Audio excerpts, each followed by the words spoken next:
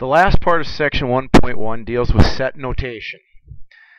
Set notation is the way to write numbers using mathematical symbols in a set. Now there are two types of sets. One is called a finite set, which basically is a set of numbers of any type where you can count how many numbers are in the set. Now my little brackets indicate set notation here, and I have four numbers in this set. I've got the number 1, 3, 4, and 7. This is an example of a finite set because there are four numbers in that set. An infinite set, you can't count how many numbers are in it. And usually it involves inequality signs. For example, the inequality x is greater than 1. That is an example of an infinite set of numbers because you cannot tell me how many numbers are greater than 1. For instance, there's 1.1, 1.3, 5.782, 1,000, 1 million. You cannot tell me how many numbers are in that set. That's why it's called infinite with the in in the front. Now, finite sets are almost always represented in what is called roster notation. What I have written there is actually an example of something in roster notation. An infinite set is usually written in what is called interval notation, which is something that we'll talk about here in just a second. Interval notation usually involves brackets and parentheses. Brackets means that the number is included and parentheses indicates that the number is not included, which we will talk about here as we do a couple of examples. On your note notebook sheet, the notes that uh, you had to fill out, I believe you have problem number 13, which says complete the table by showing the correct notation for each example. We're going to do these three examples right here that I'm putting the stars by together. First of all, it says our set of numbers in the first problem is 1, 2, 3, 4, and 5. You can count how many numbers are in it. Therefore, it is finite. Finite sets use roster notation. And if I'm going to put those numbers in roster notation, very simply, I put brackets and I list the numbers with commas separating all of them. I have just listed that set of numbers in roster notation. 1, 2, 3, 4, 5. Interval notation is used for infinite sets. Therefore, you cannot write this particular set of numbers in interval notation. Set builder notation. Set builder notation uses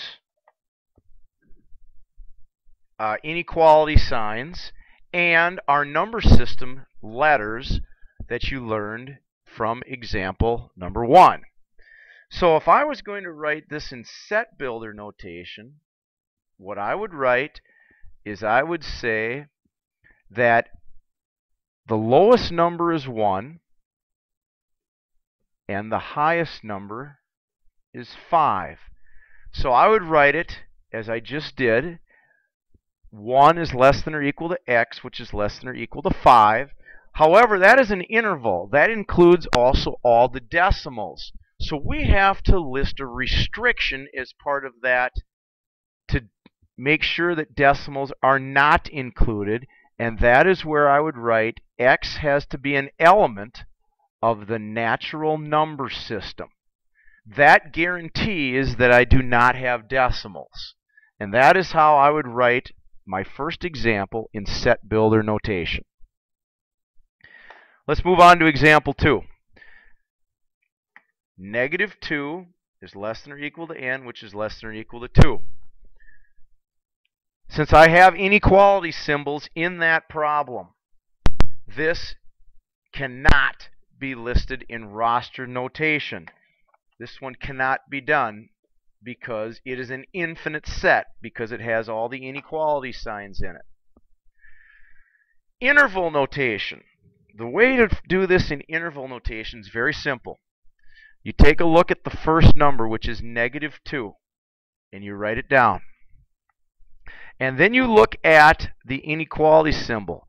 Since there's an equal sign in there, it's less than or equal to, you put a bracket or a brace on that side of the negative 2. That shows that that number is included in the set. Comma. And then you look at the last number, which is 2. So I'm going to put the 2 there. And then I look at the symbol right before it, and I see that also has an equal sign in it. So therefore, I use braces to indicate interval notation. Negative 2, comma, 2 with the braces around it. Now I'm going to go down underneath just to show you what if I have negative 2 is less than or equal to x, which is less than 2.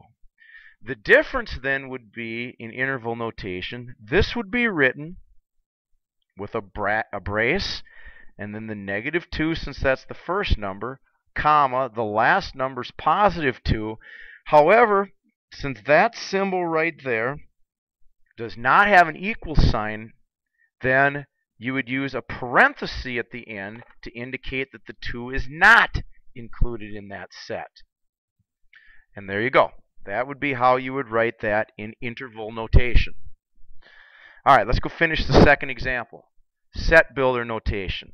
Set builder notation, you're pretty much already done with this because you have negative 2 is less than or equal to x, which is less than or equal to positive 2, and x is an element of the real number system. And that is how you would write the set builder notation. So if you already have it written in interval form, that's pretty much how you do set builder notation. The last problem says all whole numbers less than 3. Well, if you recall from example 2's video, I'm sorry, example 1 video, whole numbers start with the number 0. So this set can actually be written in roster notation because you can actually list them. All whole numbers that are less than 3, 0, 1, and 2. That's it. It doesn't include decimals. Now, since you wrote it in roster notation, you can't write it in interval notation. And then set builder notation would be very similar to our set builder notation in example number one. What I'm going to write is my little curly brackets, and I'm going to write 0 is less than or equal to x, which is less than or equal to 2, and x has to be an element of the whole number system. And I'm done. And that is how you write numbers using set notation. Finally, graphing. I'm going to go back to example 2, this one right here. If I'm going to write this as a graph or draw this as a graph, you would make a number line and you would put down the numbers at the beginning and the end. So I would write down negative 2, negative 1, 0, 1, and 2 because that encompasses all our numbers in our set. Then I look at the symbols. Since I notice next to the negative 2 was that greater or less than or equal to sign, since it's equal to, I'm going to put a, a dot at negative 2 and I'm going to fill it in because it's equal to. I'm going to look at the last symbol which is less than or equal. And it's 2. So I'm going to put a filled in dot at 2 because of the equal sign. And since n, since our letter n is in between those two, then I just draw a squiggly line to connect those two dots, and that is the graphical representation of that particular set. Now the difference is at the very bottom, if I was to graph this one, the only difference would be since I notice that the last symbol is less than, then my last dot on the 2 would be an open dot.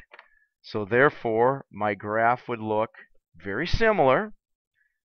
I'd go from negative 2 to positive 2 and we'd still have a closed dot at negative 2 because of this equal sign. But because of that less er, that less than sign at the very end does not have an equals, it would be an open dot because of that symbol right there. And again, the squiggly line would go in between.